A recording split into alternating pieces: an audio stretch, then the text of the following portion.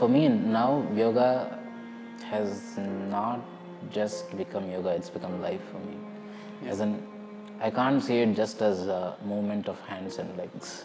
Uh, my father was asked to take me back home and finish my last wishes. I was sore inside, I was angry. Yeah. I was angry about the whole thing. Of course. I was angry about uh, me not being able to express what I really am. There's a point in your practice where, over a period of time, you understand that uh, it's not it's not someone else who can create problem for you, but you. Yeah.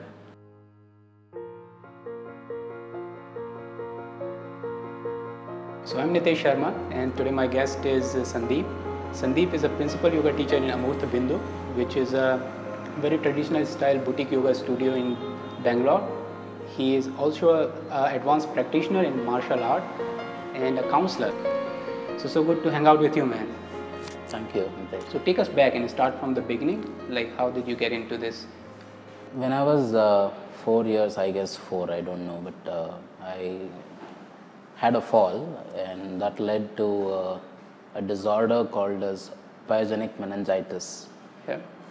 I was admitted at the hospital for about three and a half, four months, Okay. and uh, I was almost dead, brain dead. In fact, I was asked to, uh, you know, I was, uh, my father was asked to take me back home and finish my last wishes. Whoa. Right, so that, that's where uh, it started. And do you remember all this now? I remember because the pain used to be very intense, so uh, I used to shout like the entire hospital could hear me shout. Yeah. Because they used to insert a long needle into the spine, and you know there's so many nerves there. Yeah. So the pain uh, used to be intense, and from uh, there, even I remember things even before that. But uh, from there, my I think my memory became a little sharper and stronger, so I could remember most of the things. And then how does that lead to martial arts and yoga? I came out, and uh, as things like this happen, you come out weak and start uh, either feeling very weak and surrender, or the opposite happens. You mm, you start to look out for things to make you strong. Yeah. It's a defense mechanism, right? Right. So, guess that's what led me to extreme physical activity at that point of time. I used to have extreme physical activities. Of course, it started slow. My dad used to take me out, and uh, I used to, um, you know, be very physical in parks and uh, this one climb things. Mainly, I, I was interested in climbing. Wow. So I used to climb walls. At the four climb- year of age. Yes. Okay. You take go to parks, you find those uh, poles. Yeah. So Especially in used to- Bangalore. yes. So I uh, used to climb all of those and um, stuff like that, and then I was introduced to uh, judo. Very, um it was not very frequent that I used to go for classes, but very few classes. I used to uh, this one, and I used to practice with. I had a lot of uh, friends there. I used to practice with all of the friends. So how was this judo class? Was it in your school or? Uh, it was not at school. Um, my PT teacher was um um, also a judo practitioner, Okay. so I used to learn from him. Right, um, and I was um, my we were not that well to do after a point of time. We couldn't afford uh, regular classes. We couldn't afford uh, regular this one. Ah, so you were taking the private lessons from him. private lessons from him yeah and uh, then afterwards when i became a little strong in that then uh, i contemplated but had a change of mind and uh, shifted to uh, kung fu Okay. Right so did you recover in this four year of period? Did you completely recover from your injury or? I, was, Okay. I could literally climb anything Wow. so um, you, when you have to climb you need a lot of core power right Right. So, with two walls this way, with the house that we are living in, there was one house here, one house here, and literally this much space in between. Okay.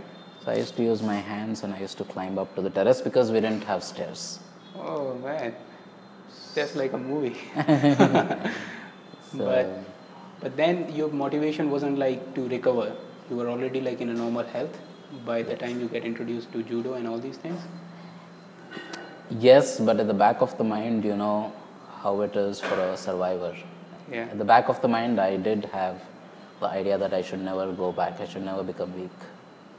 Uh, that was like injected very early in your brain. Very early, yes. Okay. So now you are learning judo from your PT teacher, and then how things move from there. And uh, from there, uh, my seventh, seventh standard, I had to move to a different school. Because of your father had to move. Yeah, we had to change houses. Uh, there was a shift, shift in uh, the economical uh, condition of Okay. uh, our house, if I could say that. And uh, we had to shift houses, and I had to shift school. Okay. And uh, pretty much for even the basic things at school, I was not very, uh, I couldn't afford it. Even if, if it was uh, a school where my aunt worked and I got uh, scholarships and things like that. And uh, I had to shift from uh, English medium school to a Kannada medium school. Yeah, because of the economical reasons. Yes. I was studying in ICSE syllabus school, English medium. Okay. And from there, I had to shift to a Kannada medium school in my seventh standard. One uh, thing was that it was difficult for me, Okay. even though I speak Kannada at home, it was difficult to entirely learn everything in Kannada. Right. Of course. And uh, I used to get ragged by the boys there. Just because though it would, yeah.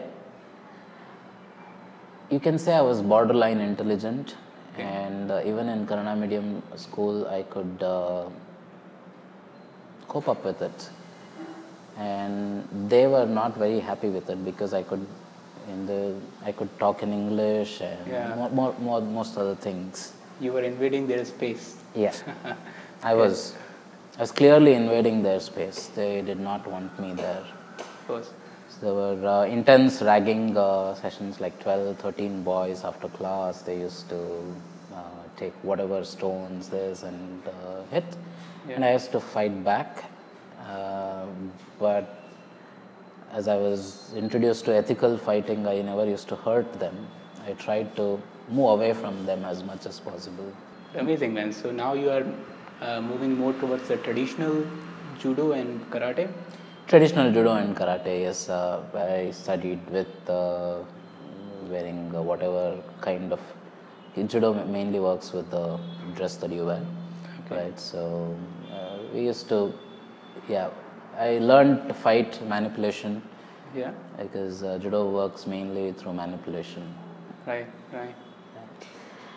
And then in uh, seventh was when I was introduced to orthodox training because of all of these things, and also because um, I used to have difficulty with uh, um, certain things like school dresses and all of these things.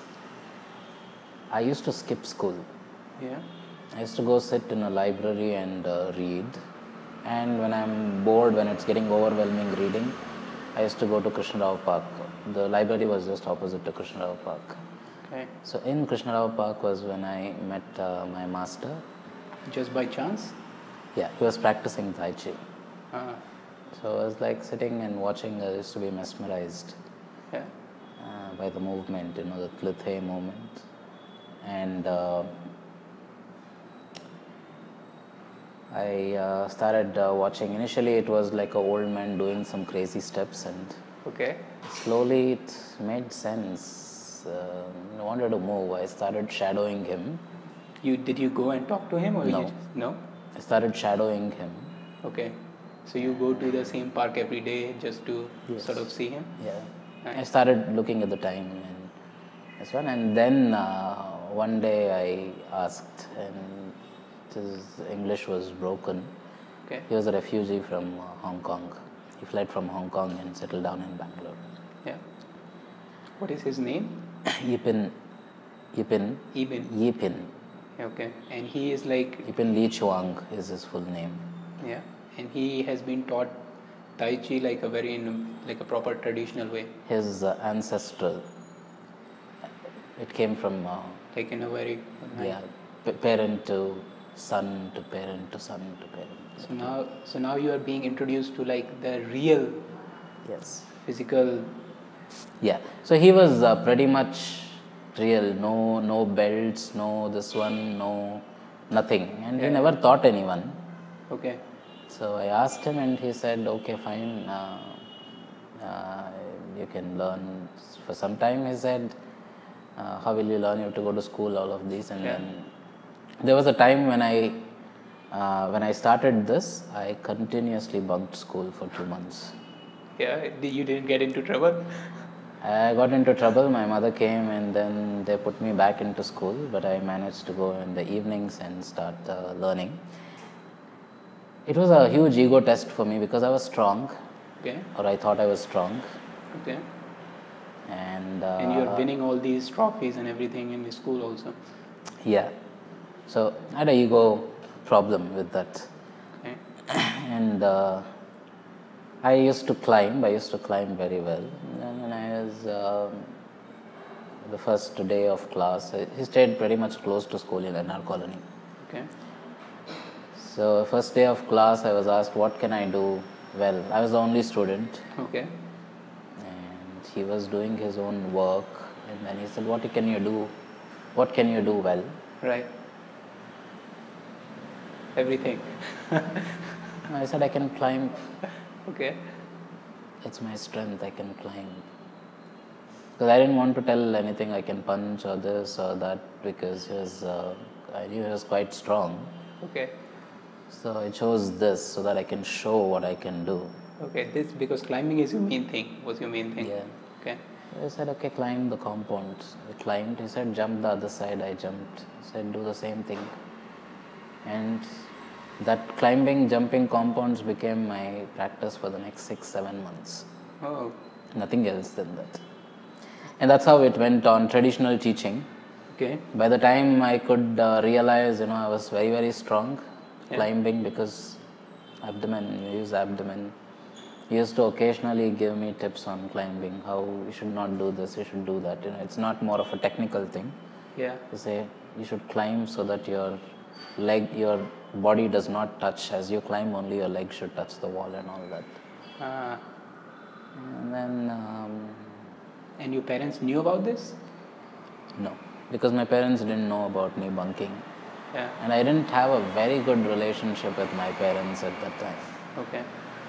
But you were very drawn to this thing, like eight months just climbing and jumping. Yeah, That I was frustrated too. I used to come back and I used to bitch about it to my friends, but he was very uh, okay. It was okay if I leave.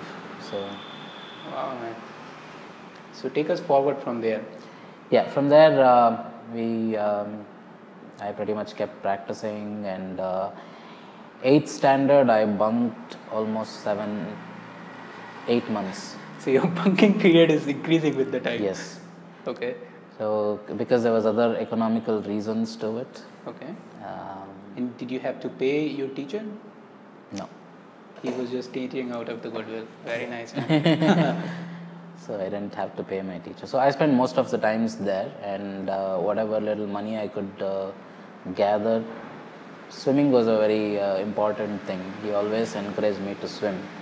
So I used to go to National College, swim, go practice there, go to the library, sit and read by myself.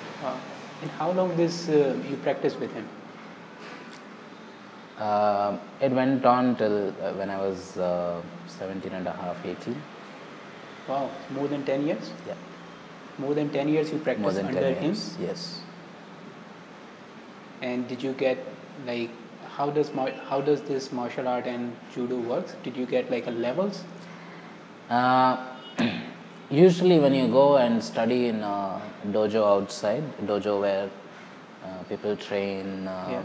Uh, now nowadays the belt system has been very this one. Every four months you can get a belt. okay. Sometimes uh, every two months people get belts. Right.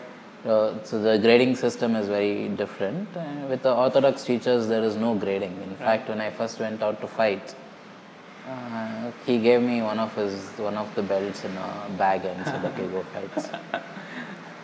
Nice. So you did fighting and all these things that uh, orthodox students I supposed did. to do. I did. And then I, uh, this was my, uh, uh, this was my first practice, but I joined uh, Taekwondo. Okay. When I was 17, I joined Taekwondo. I didn't leave the practice. I used to still do the practice. Uh, this was when I, my schooling was quite different. In eighth, uh, after they came to know that I had bunked so many days, um, they they took me out of school. I started work. You started working when you were eight. What you did? Uh, I used to work as a, um, with the painters. I used to work as their helpers. Ah. Because you wanna also support yourself, Yes. be independent. Yes. Oh man. So I chose to work. And after after eighth, you just sort of drop out and work. Yes. And when did you start? Studies again. Yeah. In um, at the time of my tenth, Yeah. uh, I was challenged by a boy uh, because I was. We went to a house to work, and the boy was in his tenth, and uh, I was interested in books. I was very interested in books. Okay. I just took out his book, and my hands were dirty, and so things happened, and he. Yeah. I was challenged by him, saying, you know, you can't. You don't touch your books. You don't know what the this one of books are and all that. And then I said I went to and enrolled myself uh, to a tuition Okay. 10th, I applied uh, private exams. Okay. I went to a, uh tuition uh, teacher. Okay. I studied with him for two months. And again, there was a problem of money. Right. So you are sort of paying for yourself. Yes. And then my dad fell sick, Okay. and uh, he fell sick for a very long time. So now you have to take the responsibility of your home also. Okay. So I dropped out of the tuitions. Okay. Uh, in fact, I was pushed out of the tuitions because I couldn't You can't money. right. Yeah. Two months, uh, one and a half month, I think I was in the tuitions. Okay. And then I studied myself. I mean, did you thought about teaching uh, martial arts and taekwondo at that time? Mm, I didn't have the time, you know. I used to work full time, right, from morning till evening. Yeah. You you were working like full time at that time. But did you were so how was your mind at that time? Would do, do were you thinking like you would always be doing this like painting and just practicing and all these things or you have sort of a plan in your mind that because now you are not I didn't have a plan because I was, uh, I was sore inside. I was angry. yeah I was angry about the whole thing. of course I was angry about um, me not being able to express what I really am because I used to work and I used to. So much my schedule was like Yeah. very different. And uh, yeah, it uh, went on smoothly. Like uh, I used to study two hours in the evening. okay And as I started to study, you know, some two, three people from the tuition uh, started to come with me and study because they were in the same tuition for two, three years and they're not passed. oh And a girl from the tuitions uh, started helping me in my mathematics and science. She used to bunk her class and come and help. I never told my at my home that I'm not going to tuitions okay because they would feel bad. right So I used to sit out and study. oh man Uh, so this one one girl uh, used to come and teach me yeah in the park, and I used to teach that to the other two boys who, wow so it was a nice yeah, friend circle. You know, I was um, when I was around 17 and the first year of my college. Uh, sort of the same thing happens with us. My father fall down, and we had like really financial suffocating situation. And that was the time I was sort of exposed that I had to earn by myself if I want to support myself. And I can see even at that age, which was like 17, 18, which was much mature than where you were, I was like going around and asking for a job in different places. Eventually, I get into like graphic designing and start working as a freelancer and start supporting myself and sort of that independence that I can support myself, start paying my tuition fees and everything. But I cannot even imagine like if you had to do it, if I had to do the same thing when I was in eighth grade, how stressful that would be. So um, studied in a browsing center. Um, I worked in a browsing center. I picked up odd jobs. I part time. I worked in a printing press, Okay. folding papers, and uh, uh, when I was still when I was 17, I got my job at Zenith Computers. It was with a dealer, Okay. a Zenith dealer. Right. And um, from there, I started uh, being exposed to a big, uh, this one of clients. Okay. I was the youngest working was Of course. 17. Yes, uh, so I worked as an hardware engineer, network engineer. I did well. And you were supporting your family also at that time? Yeah, my dad uh, came back and he started working, but with a limited uh, ca- capacity, and then we were all putting in stuff. stuff. Yeah. Right. It, it was difficult, but I think it was not bad. Right. And how did it help you to grow as a, as a person yourself? Then I started Taekwondo. Okay. But you continued your practice along the way. You never left the practice. It was difficult at those times, you know, I had to leave uh, practice. I had to practice by myself. Right. But uh, I was good at self practice, so Wow. I still practice by myself. And then Taekwondo happened as I got relaxed a bit financially. Taekwondo happened. I used to go to Kanteerava Stadium every morning. Okay. Uh, I practiced Taekwondo there, and uh, side by side, I practiced. Uh, I picked up uh, Muay Thai. Oh yeah. So you are getting more and more deeper into this. Uh, Yeah, okay. I, I kind of was looking at what do I want to do, right. But it was martial arts for me. It was I wanted to be a martial arts teacher, Right. and at home. Uh, mm, they were not really very cool with me uh, doing all of these things. Yeah. So I used to always uh, not tell them anything. I was kind of disconnected from home Yeah. at that point of time. I was angry. Yeah. You know that, you know, you know the issues that uh, But, but you were expressing your anger or you just keep it inside yourself? I used to express it uh, with my practice Yeah. That So- became an outlet. outlet, yes, to express and I think as it's So you were really exploring every aspect that where do you fit really. yeah. that was that was the time my anger came down, Okay. and now I was looking at settling. How does that anger came down?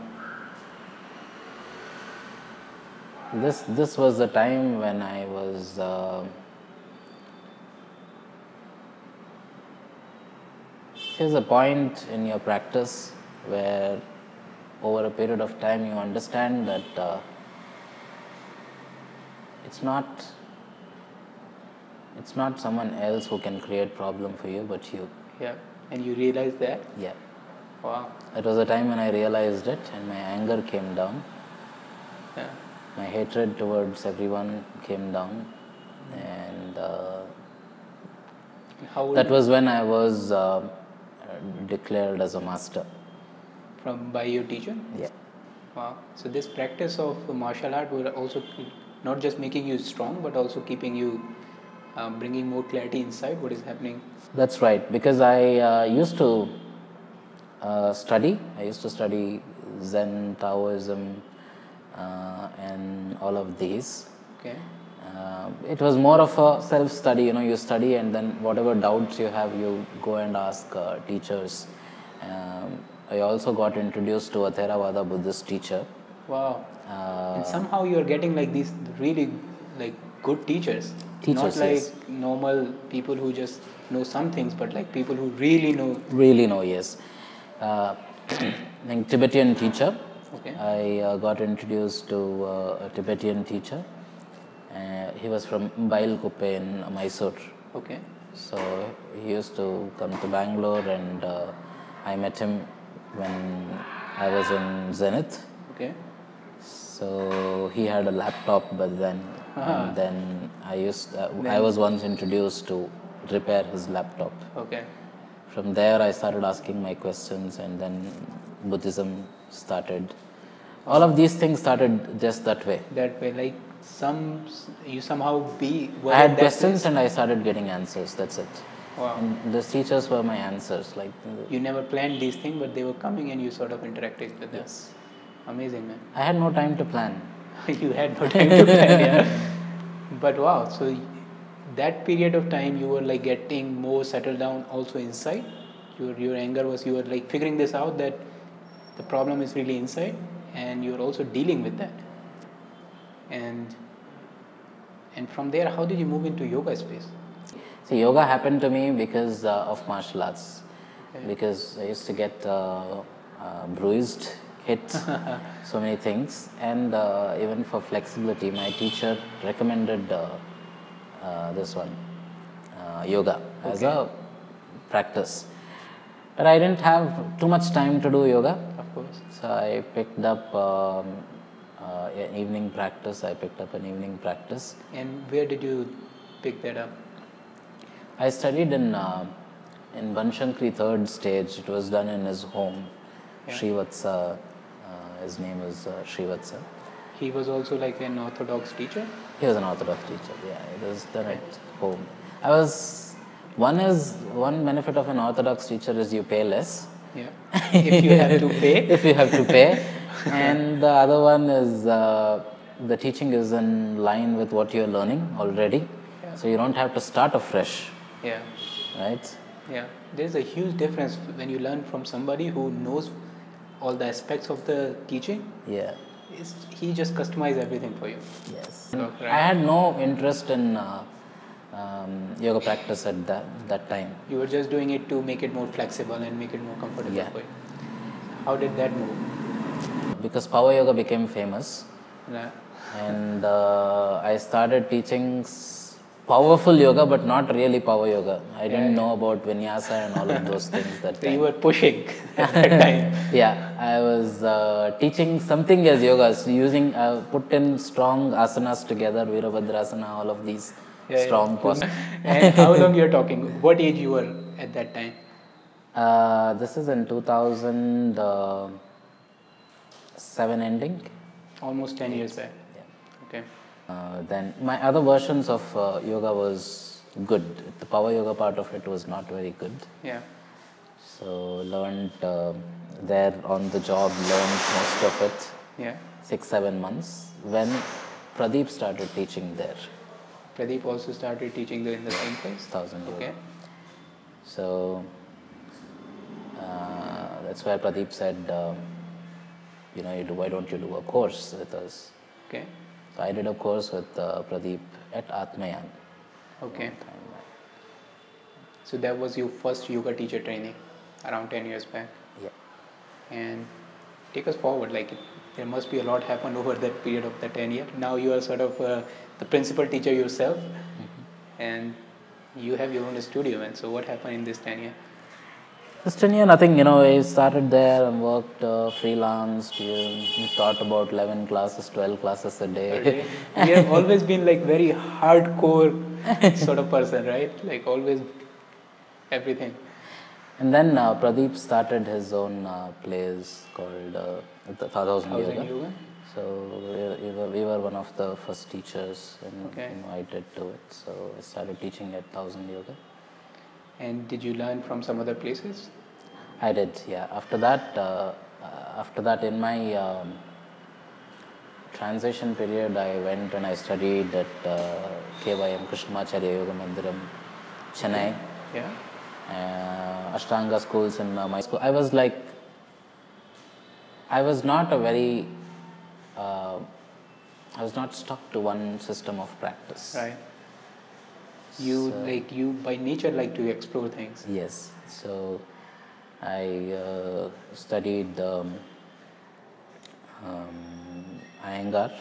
So in this 10 years, you were also exploring yoga. Your focus was like mainly shifted to yoga, or you were still exploring other things? My focus even today is uh, mostly human consciousness. Yeah. So yoga is one tool And for me. where do you think you are in your journey in terms of uh, your personal development and personal self-realization, or whatever is your I think uh,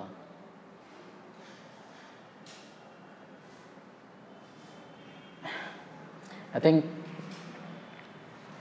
realization is a big word for me yet. yeah I'm still knowing what all I am capable and I'm not capable of. yeah Working with my strengths and weaknesses every day. Wow. So what then you shifted to start your own yoga studio? Yeah, own yoga studio was like um, yeah, most of them ask this question: Why you own yoga studio? It was mainly a lot of students of my uh, students wanted to learn different things Yeah. because I they used to have a glimpse of it uh, in Yes. their classes, so they wanted to learn that as a main style. Yeah. And also, I think uh, I was not set to be with corporates. This is the reason why I shifted most jobs, a lot of jobs. I was not set to be with uh, corporates, and uh, I think. And why is that? Why is that? It's like Um, I don't know. I think it's uh, the industrial architecture by itself. You know, it's quite heavy, and I was quite a light person.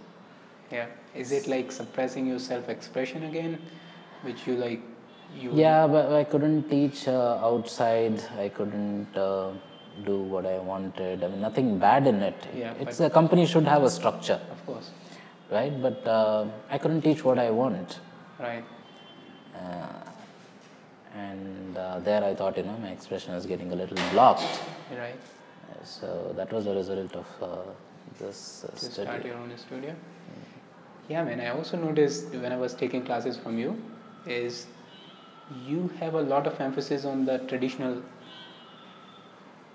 soul of the yoga, sort of like preserving that, in a sense, like teaching in a way that has a dip, that has a real yoga aspects with it, with the practice, and that kind of resonate with your own personal journey also. Mhm.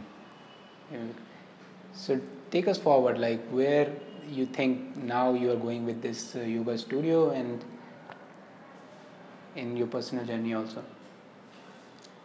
Um, I'm not quite, I'm not very ambitious. Of course. So every time Meda and I sit, Meda is my partner, you know. So um, when we sit uh, to look at the accounts, we are always saying, it's okay if we all get our salaries. That's the goal. That's the goal. so I don't think so. I'm a businessman. yeah. I can't um, be a businessman, but I think you know a little bit of it. I should try, learn, and understand. I'm doing that now, Okay. and um I think service is what I intend to do here. Yeah. When I do service to others, uh, I think I'll be serviced too. Yeah. That's beautiful. This In is the, this is what I, this is my journey ahead. Yeah. So you, for you, it's more of like um, the freedom. If you can get your own freedom and then express yourself and then just serve other people, So that's like good enough for you. They will serve me back. We'll get it back for sure. In fact, I was talking to Meda before, and I asked I asked her that what do you like so much about um, Sandeep, and she was just telling, and it was so true that the way she was telling is the way you create this space when you're teaching, and your genuine desire to share and to make to generally to genuinely sort of want other people to grow in this yoga and all. It is so visible Mm-hmm. and it feels like so good and this is why i feel like a lot of people are drawn and very loyal to sort of your classes and it's amazing man mm-hmm. Thank you. I think for me now, yoga has not just become yoga, it's become life for me. As in, I can't see it just as a movement of hands and legs Yeah. or the body anymore. It changed you. it, it did, yeah. So, so let's say I'm a beginner. I Mm-hmm. have never practiced yoga. What would you suggest me to do? Where should I start and what should I do? Because it is so hard to get like the right teachers currently because of the commercialization of yoga and all these things. Well, uh, today a lot of things, as you know, is uh, externalized, and if you have a certificate, a good certificate, Yeah, you're a good that teacher. nothing. I would, I mean, yeah, you're a good certificate, you're a good teacher. So, I would say go to anyone, surrender and practice. Yeah, See how that makes you feel. Does it make you feel expanded? Stay. If it makes you feel contracted, move. yeah. Just sort of explore. Explore. I mean, i i it's with everything, isn't it? Yeah, Everything. Uh, if you say something, it makes you feel expanded. If it feels good, then stay with it. If it does not, you have and to. You have to experiment yeah. further. Yeah, and I've been practicing yoga for almost one year now, Hmm? with uh, like so many different places, and I found that it's very different than other other physical exercises. Right? It, it, it isn't just about conditioning your body or like it's it works on a different aspect altogether. Like vitality I, I noticed that i used to move like this. Now my posture is like this which is which in itself is like a very big change for me in a long term. I also noticed my breath is like much deeper which is not very cosmetic changes but i can see like it it is like a fundamental change in the long run. So how would you like compare this with yoga and all other options you have currently to have like a good physical health? For example, gym, CrossFit, and all these things. Uh, I'd like to pick from your word. You said uh, it's not like any other conditioning. Yeah. I would say it's not conditioning. Of course, it's not conditioning, it's unconditioning. Yeah. See, we are very intelligent uh, from inside, Yeah. we are wise from inside, but stupid from outside. The over a period of time, what we add on to us is um, years of stupidity. We have baggage. so with uh, yoga practice you uncondition that stupidity or uncover that stupidity to find the real you the wise you the intelligent you inside it's more of a i wouldn't say yoga is a workout for me it's a work in yeah. so it's totally different it's totally different in that way but yes if you are not looking at the deeper aspect of anything you can see the grosser aspect of it and that's also good Yeah. the idea that people are getting drawn into yoga classes because you can sweat is also good because over a period of time it will, it will push them this side By by itself. Itself yes It's just the nature of it. yes It's just keep you take you more deeper and deeper inside you. it does Talk a bit about the teacher training, what you guys do, how you guys sort of uh, uh, teach yoga in that teacher training. But teachers training, uh, being in a few of it and leading it for quite some years now, I think teachers training is just uh, my way of sharing it to others so that they can share it to others. Okay. Of teaching them how to share, I mean, what I know so that they can experiment it Uh-huh. experience it and share it to someone else. Personal excellence is something that I'm behind for quite some time. Yeah. Teachers training, our, teacher, our teachers training is structurally um, placed to uncover personal excellence, Right. to do things without uh, having to do it many more times or going back and change it, to to be to have uh, maximum yield out of whatever you do. Yeah. In the shorter period of time. A shorter so you have like a nice head start. Yeah. in the yoga. That's right. So we have two uh, courses that we teach now, like many other uh, sh- shalas. We have level one and level two. Level one is structured more around oneself, Okay. uh, structured uh, around us, so that we can uncover personal excellence. Yeah. And once you do, it'll flow. Uh, you have to reach the place where you start sharing. Yeah, By nature, it. you will get there. That's right. So Once you have something, you can share, isn't it? Yeah. Right now, we share many things. We share anger, we share frustration, we share. Uh, That's not sharing. That's like taking. but we do. Yeah, whatever We we, do have share. inside, we have to like. We share. can't. It's just by nature you have to share whatever inside you. That's right. So that's my idea of teachers training. In the level two, we have uh, slight advanced practices. Uh, here, uh, you know, you look into yourself more deeply Yeah. and uh, also share. Yeah. It's more deeply, and then you start to focus more on sharing part.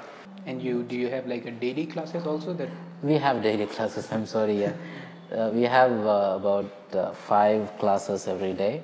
yeah and uh, uh, two, two of it is uh, a one and a half hour class yeah taught by uh, slightly experienced teachers. yeah at the moment with you.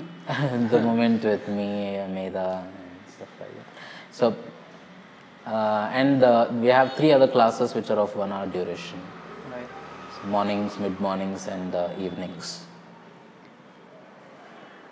So, Yeah. what's your experience? You did one month of classes here, so what's your experience of the class? My my whole experience with yoga is like very new because I just started one year back.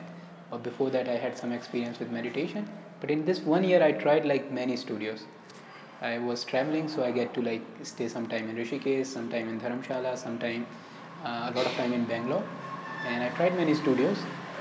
But I found it so hard to find a studio which is like not corporate, which is like more of the real yoga, where you're teaching with this uh, sense of giving and like you yourself following the yoga. And it is not like a physical exercise. In that regards, I would say like Amrutha Bindu was one of the best thing I've been to. Thank you very much. Right? And I found these classes that that you guys take in the master class for almost two hours. They flow so nicely. They feel like ten minutes. and I've been to yoga classes which like I wished would end after like ten minutes, just like get me out of here. But these things like they're so natural and they they're not so forceful and you kind of get to into the place where you find some sort of relaxation which is very different than like pushing yourself and stretching yourself and like getting into this conditioning shape so for me it was like a great finding man. Thank you very much. beautiful man okay so today my guest was sandeep and man it's so good to talk to you Thank you very much. Hey guys, I'm Nitesh and I hope this video was helpful. So if you find this information useful, please subscribe, like or comment. And when you do that, it makes me feel so good, but then it also helps me to reach other people. And thank you very much for watching it.